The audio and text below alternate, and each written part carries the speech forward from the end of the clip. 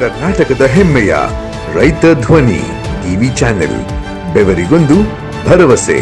ಇತ್ತೀಚೆಗೆ ಅಗಲಿದ ಹೆಸರಾಂತ ಕನ್ನಡದ ನಟ ಪುನೀತ್ ರಾಜ್ಕುಮಾರ್ ಅವರ ಸವಿ ನೆನಪಿನಲ್ಲಿ ರಾಣೆಬೆನ್ನೂರಿನ ಮುನ್ಸಿಪಲ್ ಮೈದಾನದಲ್ಲಿ ಸ್ನೇಹದೀಪ ಅಂದರ ರಾಜ್ಯ ಮಟ್ಟದ ವಾಲಿಬಾಲ್ ಪಂದ್ಯಾವಳಿ ಅಪ್ಪು ನಮನ ಕಪ್ ಆಯೋಜನೆ ಮಾಡಲಾಗಿತ್ತು.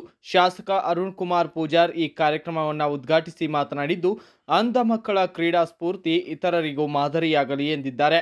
ಈ ಸಂದರ್ಭದಲ್ಲಿ ಬಿಜೆಪಿ ಯುವ ಮೋರ್ಚಾ ಅಧ್ಯಕ್ಷ ಪವನ್ ಮಲ್ಲಾಡದ್, ನಗರ ಯೋಜನಾ ಪ್ರಾಧಿಕಾರದ ಅಧ್ಯಕ್ಷ ಚೋಳಪ್ಪ ಕಸವಾಳ್, ವಸಂತಕ್ಕ ಹುಲ್ಲತ್ತಿ, ಡಿವೈಎಸ್ಪಿ ಸುರೇಶ್ ಮತ್ತು ಮುಂತಾದವರು ಉಪಸ್ಥಿತರಿದ್ದರು. ಇವತ್ತು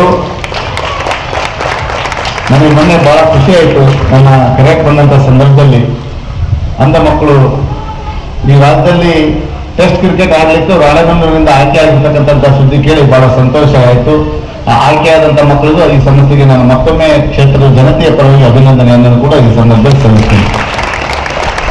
ಬಂಧುಗಳೇ ನೀವೆಲ್ಲ ಈ ಸಾಧನೆಗೆ, ಆ ಭಗವಂತ ಮೆಚ್ಚಿ ಈ ದೇಶದಲ್ಲೇ ಕೀರ್ತಿ ತರ್ತಕ್ಕಂಥ ಕೆಲಸವನ್ನ ನೀವು ಕೂಡ ಮಾಡ್ತಾ ಇದ್ದೀರಿ. ನಿಮ್ಮ ಈ ಒಳ್ಳೆ ಕಾರ್ಯಕ್ಕೆ ನಾನು ಯಾವತ್ತೂ ಕೂಡ ಆಭಾರಿಯಾಗಿರ್ತೇನೆ ಅಂತ ಕೂಡ ಈ ಸಂದರ್ಭದಲ್ಲಿ ಹೇಳಿ. ನಿಮ್ಮ ಈ ಕ್ರೀಡೆ ಯಶಸ್ವಿಯಾಗಿ ನಡೀಲಿ ಒಳ್ಳೇದಾಗಲಿ ಅಂತ ಹೇಳಿ ಶುಭ ಹಾರೈಸಿ ನನ್ನ ಮಾತು ಮುಗಿಸ್ತೇನೆ. ಜೈ ಹಿಂದ್